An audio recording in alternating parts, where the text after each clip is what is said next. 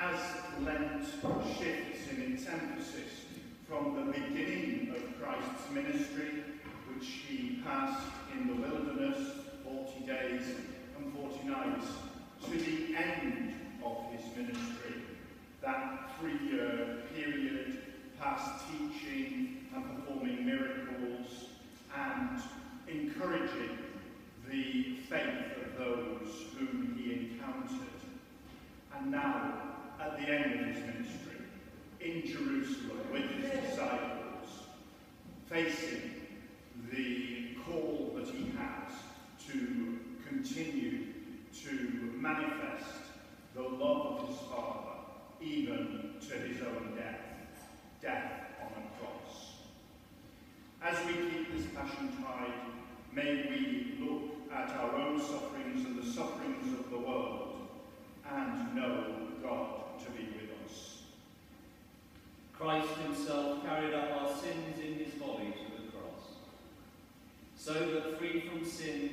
we might live for righteousness. By his wounds we have been healed. Let us confess our sins.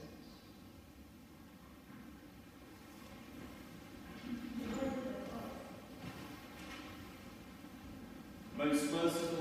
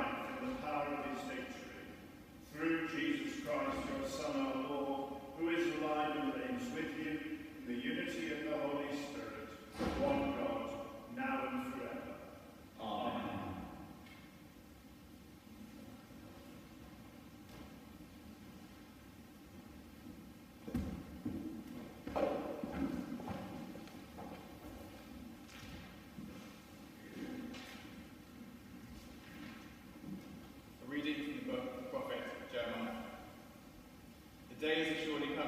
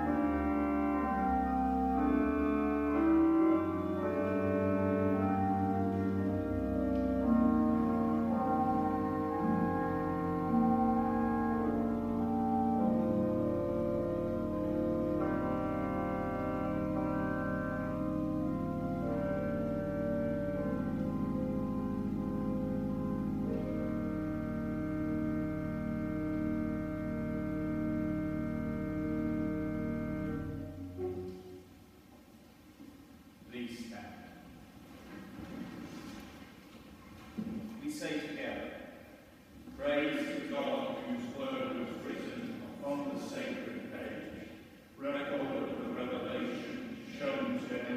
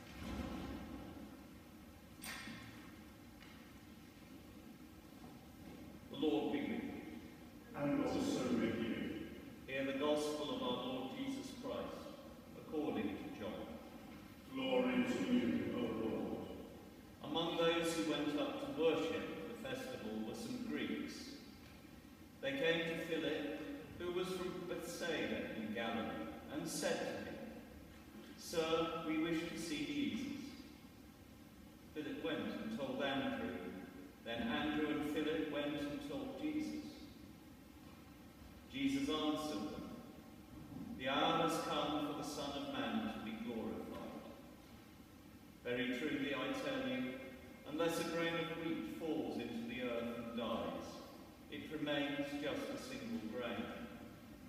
But if it dies, it bears much fruit.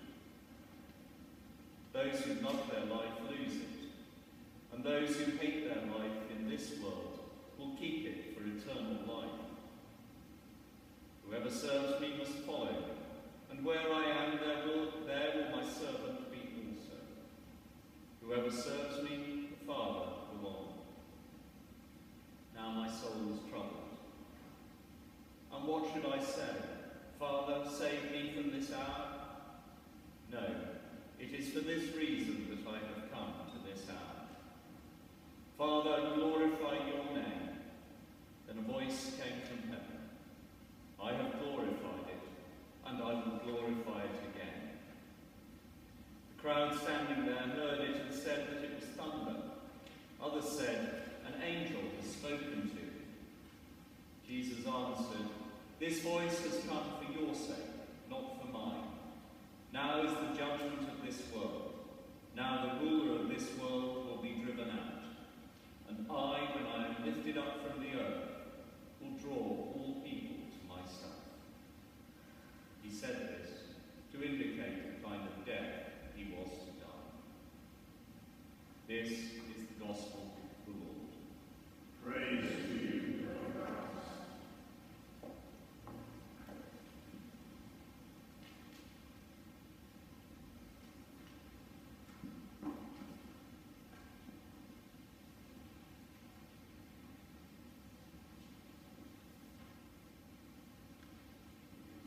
In the name of the Father, and of the Son, and of the Holy Spirit. Amen.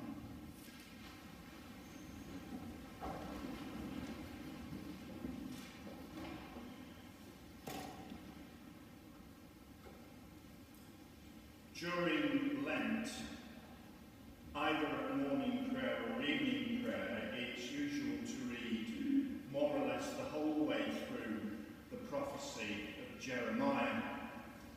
Now, I remember back to the time just after I'd been confirmed at age 14 when I read through the whole of the Bible that had been gifted to me by my aunt and uncle, who were my godparents. And I remember getting stuck when I got to the book of Jeremiah. It's long and it's grim. And being the fancifully, rather stupidly optimistic person then that I still am, I found it really tough. Well, today's reading from Jeremiah that was read for us by Rupert, who's here today with his fiancée because they're here to hear their banns being read out. Really welcome you both on this special occasion for us and I hope for you. This passage is one of the moments in Jeremiah's prophecy when, oh, some hope comes on the horizon. A few weeks ago, the little passage in Jeremiah that I've long called Underpants Day came along. It's when Jeremiah is told to go out and buy a loincloth, then wear it, then hide it in a hole next to the river Euphrates, then go and find it again sometime later and decide it's not worth putting back on. Well, I'm not sure whether that's an optimistic or a pessimistic moment in this grim read. But anyway, I kind of smile when it's Underpants Day. Jeremiah speaks today of a new covenant. Our Lent began mindful of the covenant that God made with Abraham the patriarch, the first covenant in the Old Testament. And my sermon on the first Sunday of Lent talked about the whole scheme of covenants that we encounter as we go through the Hebrew Scriptures. Well, this new covenant is, of course, one that, for the first time in the Old Testament, kind of picks up the idea that the Messiah is coming out of the devastation and disaster of the loss of the kingdom of Israel and the kingdom of Judah and the horrific exile that will be experienced and the scattering of the whole of the Jewish people down to Egypt once again and across to Babylon. Jeremiah actually spent the period of exile in Egypt, not in Babylon. It's Ezekiel who picks up the idea of this new covenant, who himself was exiled in Babylon with uh, the Judeans. And he speaks of the fact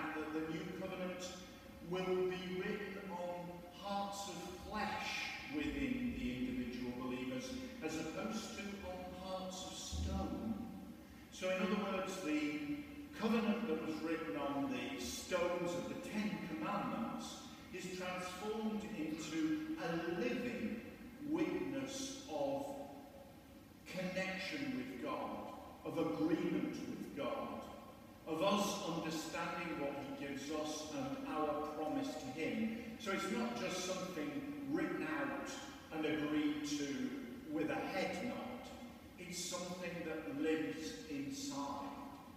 Now, that alludes to the fact that we who are confirmed and are believers receive Holy Communion, usually on a weekly basis, as God lives inside us as we consume Christ's body and his blood, as signs of the way we are connected. And it's this new covenant that Jesus himself, in the passage from St. John's Gospel that we heard this morning, comprehends and willingly accepts.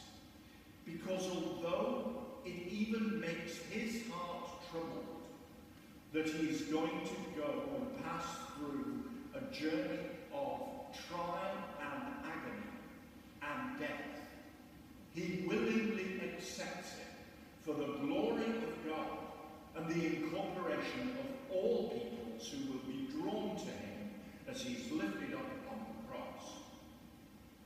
A sign that the covenant has been signed and sealed, that it will last throughout the ongoing material world that we experience until the second coming and the ushering in of an eternity that we ourselves will experience. Optimism, pessimism, a new covenant that seems to make sense, or a new covenant written on our hearts that will bring us pain. Optimism and pessimism can both be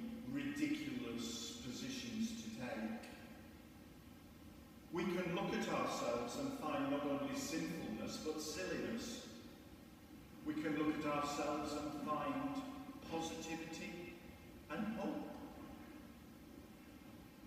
We've got to accept who we actually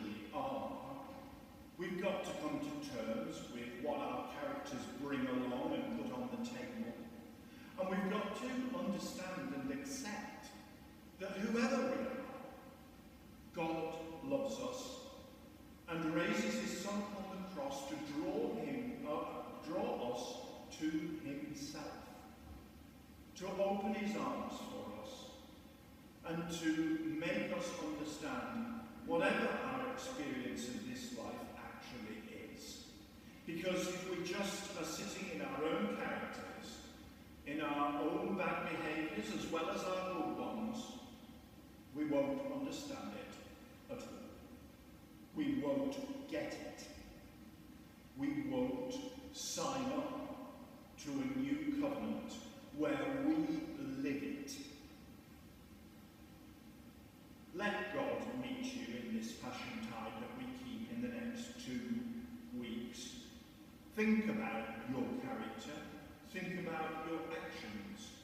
Think about the character that is promoted in our society, be it for good or ill. Celebrate those things that come from God. Reject those things that do not. And see the new covenant to be acknowledged